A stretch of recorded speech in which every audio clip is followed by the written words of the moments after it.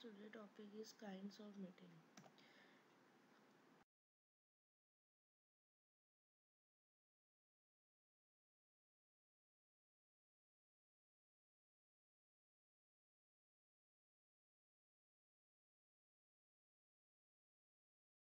As we already discussed about the meaning of meeting in the previous session, so today about the kinds of meeting.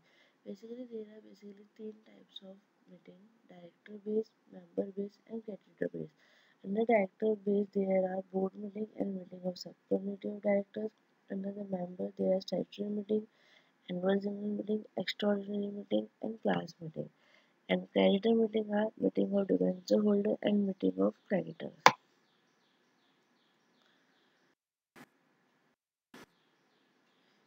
Shareholder meeting.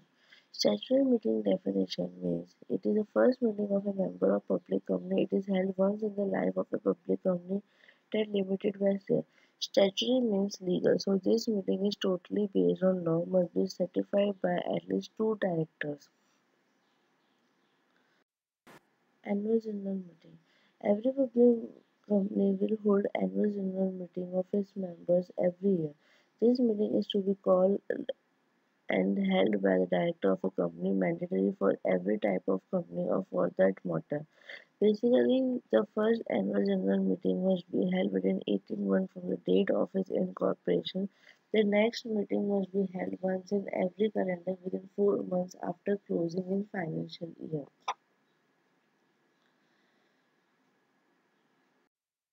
Extraordinary General Meeting. All general meeting other than AGM and statutory meeting are known as Extraordinary General Meeting. this meeting is held on special occasion or it can say it in the emergency situation when directors think that it is necessary. This meeting is held on the special occasion in the situation of emergency. Director will have to send a notice of meeting to all the members of a company at least 21 days before the meeting. Director meetings. A board of directors generally must conduct a board meeting to make company decisions, frame the general policy of a company, direct its affairs, appoints the company officers, ensure that they carry out their duty, and recommend to the shareholder regarding distribution of dividend not provided in the act. Usually, director may at any time summon a meeting of the director. Board of directors will hold the responsibility for all the overall success and failure of the corporation class meeting. The company has different kinds of share. When the meeting is arranged by any one kind of shareholder, it is called class meeting. Creditor meeting. The directors or other appointment lower can invite this type of meeting. Moreover, this type of meeting may be arranged by the order of court. If necessary to reconstruct or to dissolve or to any amalgamate the company to preserve the rights of the creditor, this type of meeting is invited by the proper authority person.